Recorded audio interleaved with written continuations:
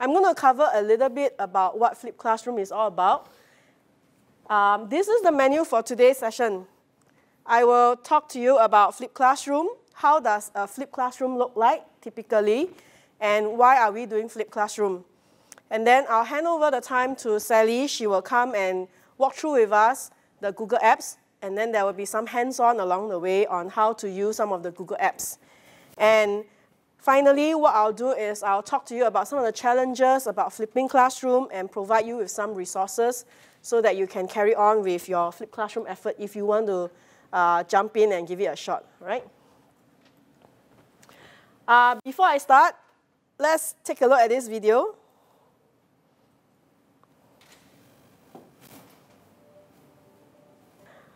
Okay, so what he actually did was to briefly sum up what Flip Classroom is about for us. Aaron Sam is actually the guy who first uh, coined the, the Flip Classroom concept. But Flip Classroom didn't really uh, started or begin with him. It actually started a long time ago because some of the concept you see here, especially when it talks about um, asking the students to view a video or go to some online resources or maybe even to, to read some other resources provided in some other manner could be a possibility of flip. But in those days, we don't call it flip because there's no such terms yet. Um, so what exactly is flip classroom? Uh, a flip classroom, basically what, what we are talking about is we flip the classroom concept from a teacher-centered kind of learning environment into a student-centered learning environment. Know, I remember, uh, I may not be a lecturer here, but I remember as a student when I was in school, uh, I, I'm not the ADHD kind, but I'm not the kind that love to sit down and stick my butt on the chair either. I like to talk to my friends. I like to, uh, I like to play my eraser and things like that. And I, I typically found my teachers in school very, very boring, especially in my primary school. And I remember when I was trying to learn the multiplication table, it really, really like got into my spine. And, and in, I, I mean, I'm not young, but in my days, right, the teachers whack our, our hand with rulers when we cannot remember. I, I don't know whether you come from the same era, but I'm, I'm that old. So I remember there was once I'm supposed to remember uh, 8 times 9. And I just couldn't figure out why on earth I, do I need to know 8 times 9? Secondly, I, I cannot figure out what exactly is 8 times 9.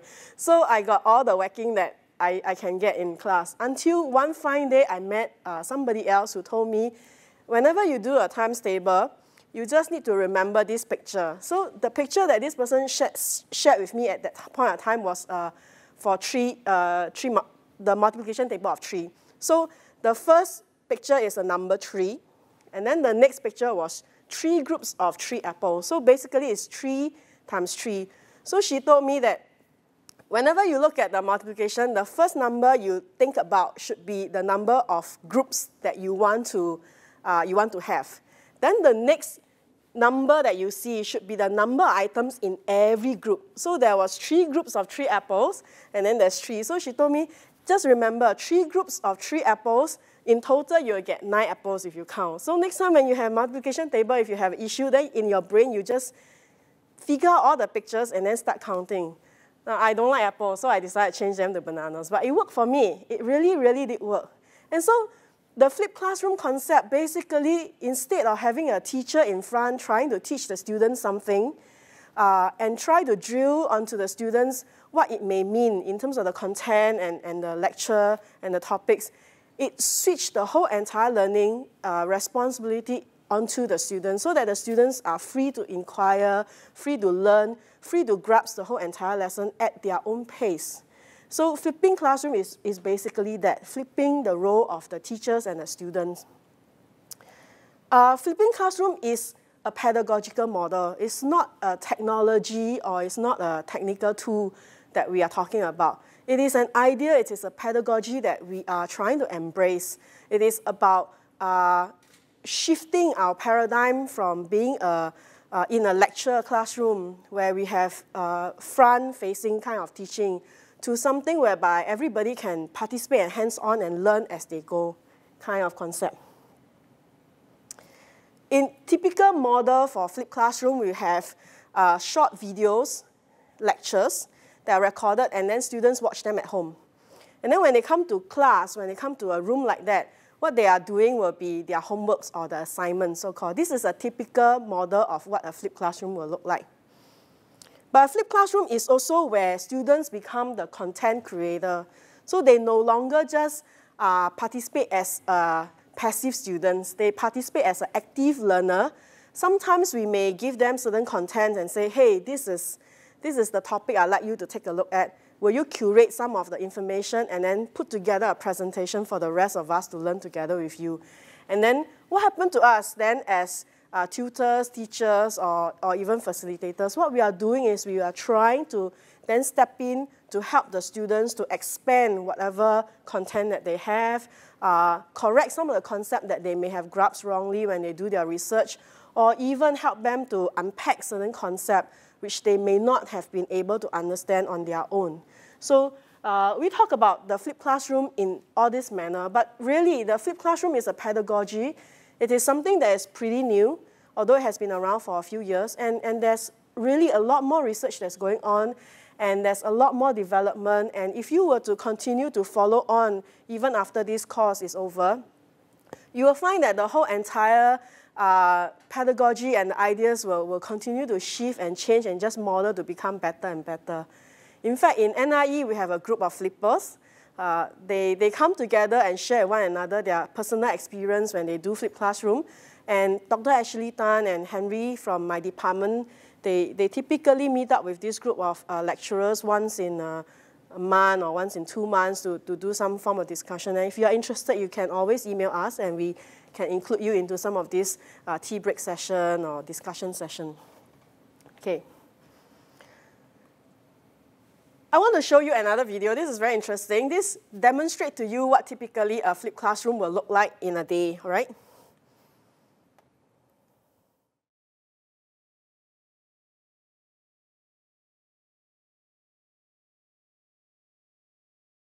So typically in a classroom, this is what we will see, you know, some students falling asleep, some catch up, some couldn't, some find your lessons or my lessons boring because I'm, I'm talking about the content too slowly, they would have already read. So what we do in Flip Classroom is when we present the content before the student come to class, the slower one can repeatedly watch the videos over and over again to grasp the concept. Those who are fast learner, they can skip certain part of the video or in fact maybe they just watch through once and that's it for them. And then when they come to class, we can differentiate the learners uh, by dif differentiating them whether they are the better, the faster ones, or the slower one, those who are hands-on, those who prefer uh, to learn in different methods, and get them into groups. And then begin to do collaborative learning or project-based learning. It can even be experiential learning. The flipped classroom model is basically just like any other learning models. Uh, in fact, what you see here is uh, looks like the experiential learning models. This is taken from the URL here. You can always read the article. This lady has got some research done on uh, flipped classroom. Now, typically when we introduce a lessons, uh, sometimes we like to use a hook to interest the students, to get them into uh, the, the lessons and get them interested. Uh, so what we do is sometimes we may provide games. On the top right corner, if you see, there's experience. Uh, we may have experiments. We may have community projects or certain activities for them. Sometimes when we, when we provide certain activities for them, whether is it in class or when they're at home, what we want to do is to get them excited about a certain topic that they may be learning. For example, I remember when my teacher wanted to teach me about certain concept about how a plant grow. Uh, the, the teacher never asked me to, okay, now watch how a plant grow over the next uh, few years. But no, the teacher gave me a couple of red beans and green beans and said, now go and grow your own plant. And then, uh, and, and inside my heart, I'll be wondering, grow, grow my own plant. She never talked about it for a few days. And then uh, one week later, she said, so how many of you, your plant has been growing, that kind of thing. So it got me excited and interested. So that could be a hook that we get the students in uh, to, to be interested with a certain topic. And because of that hook, then when we present the content in video or whether we ask them to do reading, at the bottom right corner, uh, you will see that it could be videos, it can be audio lecture, need not necessarily be video. Uh, it can be very rich, uh, content-rich website that you ask them to go to. It may be some online chats. It may even be some forum discussion, something that you get them to go on to get their, their content knowledge, uh, something that will complement or rather uh, uh, capture what the essence of the lesson could be. That is your content, your lecture presentation. That hooks them on. So for the faster learner, they may find that, oh, your video talks about photosynthesis and whatever, whatever, I want to go and find out more. For the slower learners, they may say, hey, what exactly is this about? I want to, I want to hear my lecturer again. I want to read about this again. Then this learner can go through over and over again the same video lecture or same audio lecture. So when we do a flip, we, the educator suggested activities and, and the content typically are pushed to the students before they come for class. So they do this at home. Now, I, I do understand that sometimes we will feel that, oh, we ask the student to do all this at home, then it will uh, extend our curriculum time, right? That means because I don't have to teach during curriculum and time anymore, uh, they, I kind of like double the time or, or rather have more time. Uh, yes and no. Yes, because you uh, can do other things during the curriculum time. No, because um, you're not asking the students to sit for another lecture at home. What you're trying to tell them is, now instead of giving you homework, I'm asking you to look at the contents that I'm providing. And there's no homework for you. There may be some very simple one, two minute activities to get you going, or there could be one or two simple assessment, self-paced assessment for you to understand whether you grab the concept, that kind of thing. It, the time that the students spend at home to watch a content shouldn't be longer than what typically the amount of time the student need to, to spend on the homework.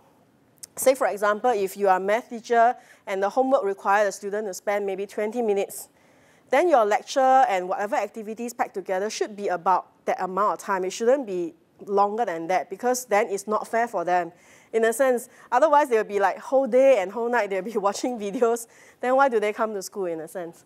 So we push the content to them when they're at home. They get to know about all the topics and the content and whatever we feel that we need to teach before they come to class. Then what do we do with them when they come to class? We can break them into small groups. We can get them into uh, different kind of activities. Now, this particular so what here talks about the kind of activities we may want to do after they view certain content. For example, we can ask the student to blog. They can be doing their individual blog. They can be doing group blogs. They can even be creating website or wiki.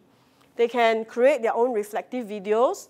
They can record audios. They can also sit for certain tests.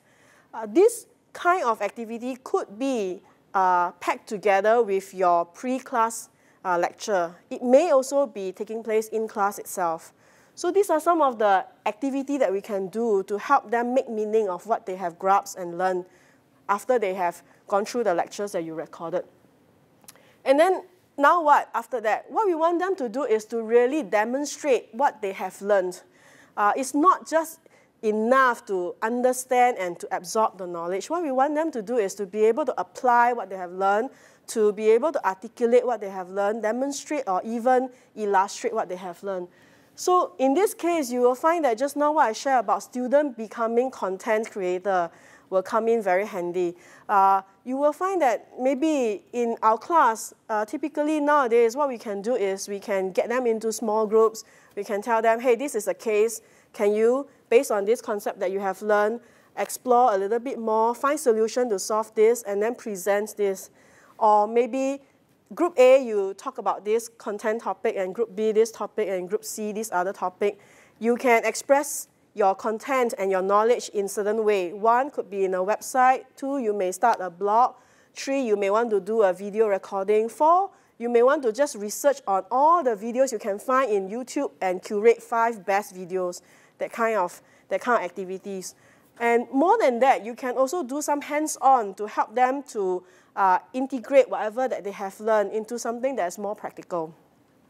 So the flipped classroom model is just like any typical learning models, but what we are doing is we flip the content, the lecture, to the students at home.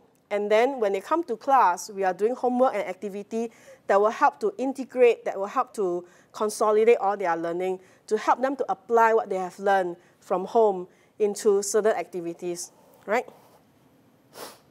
Now, why do we want to flip? Uh, typically, flipping will require a lot of effort. Why? Because most of us do not have our lectures already recorded, right? And we also don't have any audio recording.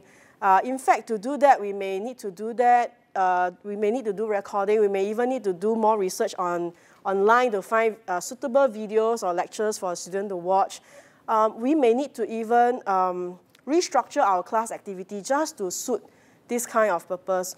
We may need to think about how to differentiate our students because typically in our lecture or in our class, we may not even have time to differentiate our learners. So then why do we want to flip? We flip because we understand that one size does not fit all.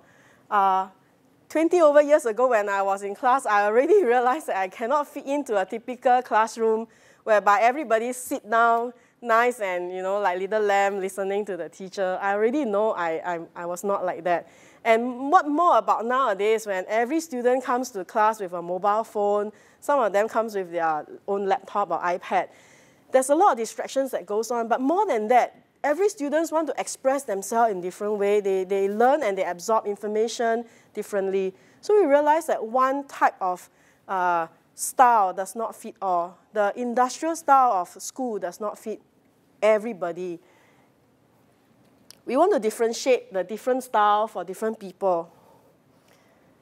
But more than that, we, we, want, to, we want to help our learners to become uh, somebody who is interested to find out more. We want to change our current class, classrooms uh, uh, into a place whereby the students are free to ask questions.